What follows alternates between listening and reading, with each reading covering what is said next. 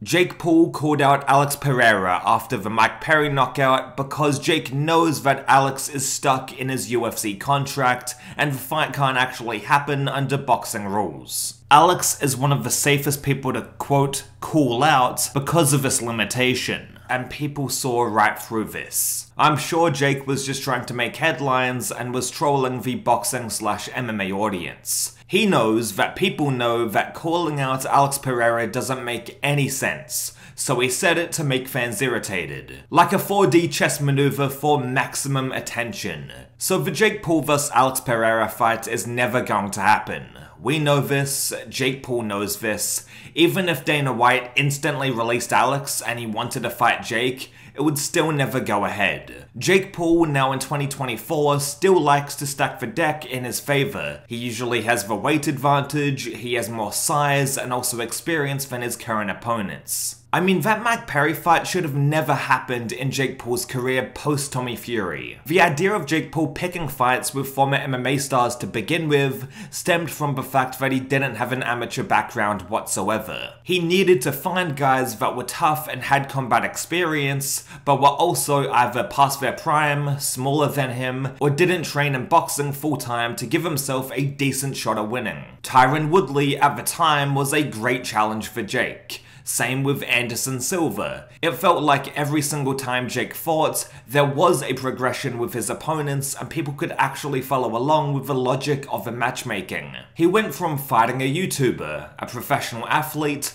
an MMA fighter with no hands, an MMA fighter with decent striking ability, to then eventually taking on an MMA fighter with actual boxing skill in Anderson Silva. After Anderson, he leveled up again and fought a professional boxer with the Tommy Fury fight. You see, what made Jake Paul fights interesting between 2021 to 2023 is that each time he stepped into the ring, he was charting out a course to eventually fight professional boxers. He was learning in real time with only a couple of years of boxing experience, so he couldn't go in there with pro boxers straight away. He needed to level the playing field a bit by fighting ex-MMA stars. The issue is that after the Tommy Fury fight, he went back to MMA fighters past their prime. Or he would fight retired boxers boxers that are way out of their depth. All of the fights that Jake took on post Tommy Fury were not a challenge, and there wasn't a clear progression. That's why Jake's career has kind of taken a tumble. After he lost to Tommy Fury, he regressed in terms of his opponent choice and fought Nate Diaz.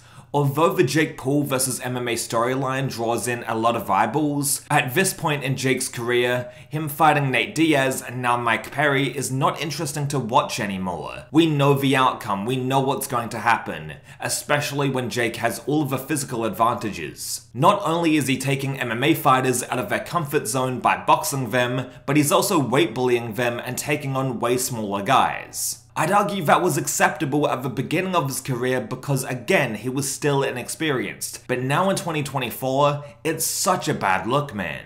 That brings us to Alex Pereira. If Alex was free and available, Jake would not take this fight because it's too much of a risk, and make no mistake, Alex Pereira would knock Jake Paul out in a couple of rounds. Alex is not a welterweight who needs to balloon up to 200 pounds in order to fight Jake Paul. Alex is also not a wrestler who would be boxing for the first time against Jake. Alex Pereira is a natural light heavyweight fighter who has incredible striking ability. He has some of the most vicious hands in the UFC. He has knocked out guys bigger and stronger than Jake Paul. Alex would just touch Jake and he'll fold. I mean, it would actually be a really compelling fight, and I'd want to see it. However, there's too much jeopardy. And if Alex cleaned out Jake in a round, then that would destroy the whole Jake Paul vs MMA feud he has built up. Jake Paul knows all this. Jake Paul was just calling Alex out because he knows people like me and you will talk about it and point out the flaws in the argument. He's a genius marketer for that reason.